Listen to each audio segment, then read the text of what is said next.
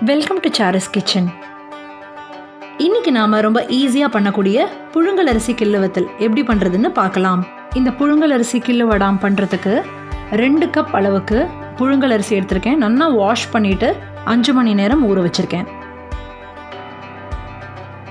அரிசி நல்லா ஊறெடுத்து மிக்சர் ஜாரில் ஊறின அரிசி சேர்த்துருக்கேன்.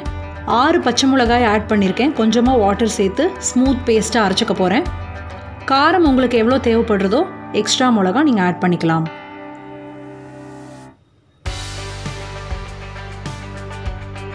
நல்லா ஸ்மூத் பேட்டராக ரெடி பண்ணிட்டாச்சு. மேலே பப்பிள்ஸ் தெரியறது இல்லையா? இந்த மாதிரி நம்ம அரைச்சிக்கணும்.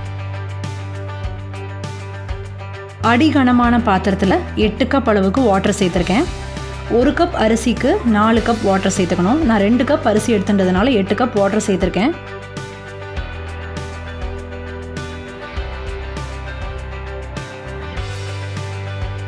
அரை டேபிள் ஸ்பூன் அளவுக்கு பெருங்காயத்தூள் ஆட் பண்ணிக்கிறேன்.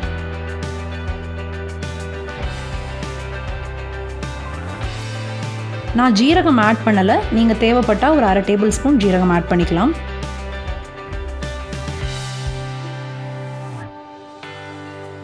உப்பு ஆட் பண்ணிக்க போகிறேன் வத்தல் வந்து அதிகமாக உப்பு இழுக்காது ஸோ பார்த்து ஆட் பண்ணிக்கோங்க. வாட்டர் கொதிக்க ஆரம்பிக்கிறச்சே நம்ம அரைச்சி வச்ச அரிசி விழுத சேர்த்துக்கலாம்.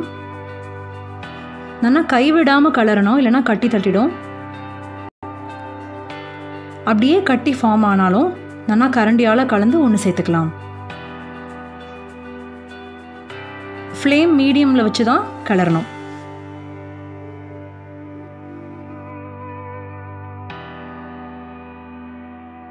மீடியம் ஃப்ளேம்லேயே இந்த மாதிரி கலரலாம் அப்போ தான் ஈவனாக வேகும். கொஞ்சம் கேர்ஃபுல்லாக கலரணும் இல்லைனா பபிள்ஸ் வரும்போது கையில் பட்டுடும். ஸோ நீளமான கரண்டியால் கலர்றது சரியாக இருக்கும்.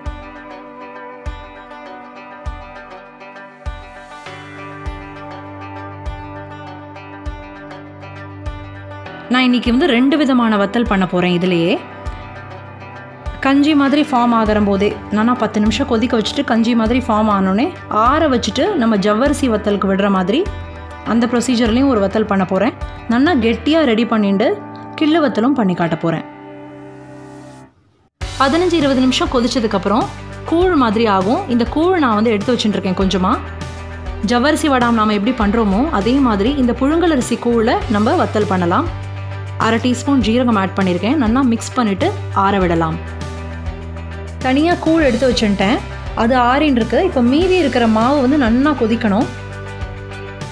நல்லா கெட்டியாகிற வரைக்கும் நம்ம கலரிக்கலாம். நல்லா கெட்டியானால் தான் நம்ம கிள்ளு வத்தல் பண்ண முடியும். நல்லா பபிள்ஸ் வர ஆரம்பிச்சிருக்கு. கேர்ஃபுல்லாக இந்த டயத்தில் நம்ம கலரணும்.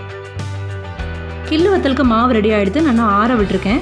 வாட்டரால் கையை நல்லா நினச்சிண்டு தொட்டு பார்த்தோம்னா ஒட்டாமல் இருக்கணும். காட்டன் வேஷ்டி இல்லைன்னா பாலித்தீன் ஷீட் விரிச்சிட்டு நம்ம காய்ச்சி வச்சுருந்த புழுங்கலரிசி கூழ் அதை நம்ம ஜவ்வரிசி வடாமுக்கு எப்படி விடுவோமோ அதே மாதிரி விடலாம். ரெண்டு டேபிள் ஸ்பூன் அளவுக்கு இருக்கும். அந்த அளவுக்கு விட்டால் போதும்.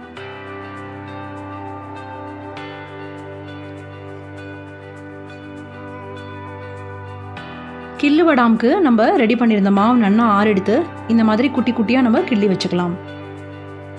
நாலஞ்சு நாள் வெயிலில் காய வைக்கணும். நன்னா காஞ்சாதான் கிறிஸ்பாக இருக்கும் வடாம்.